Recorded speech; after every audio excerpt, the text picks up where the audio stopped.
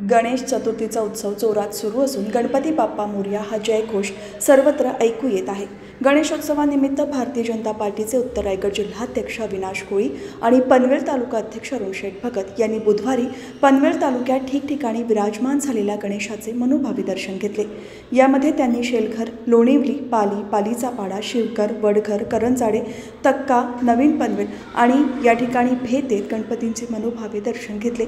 यावेळी हेमंत तांडेल जितेंद्र बताले सतीश मालुसरे संतोष शेळके महेंद्र भोईर चाहूशेठ म्हात्रे शिवकर ग्रामपंचायतीचे सरपंच आनंद ढवळे माजी नगरसेवक अजय बहिरा प्रभाकर बहिरा रमेश देशमुख मयूर कदम संजय कोळी अपूर्व ठाकूर यांच्यासह मान्यवर उपस्थित होते.